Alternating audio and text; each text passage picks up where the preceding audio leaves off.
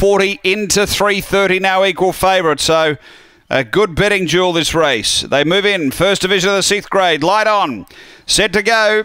Bernardo Bowl and Spring Honor. They'll step the equal faves. We're ready.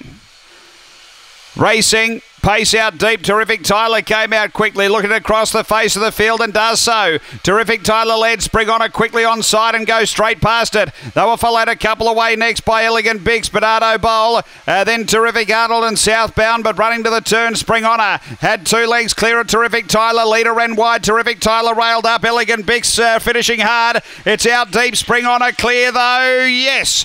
Spring Honor has just beaten Terrific Tyler Elegant Bixon southbound. Uh, then Bernardo Bowl and Terrific Arnold. The time here is uh, around 25 and 80. After the running of race number 10 and uh, too good here, Spring Honor. Able to drive over, uh, grab the lead, wobbled a bit on the turn, but uh, had enough up the sleeve to score. It's in the frame, number five, for uh, Greg Board.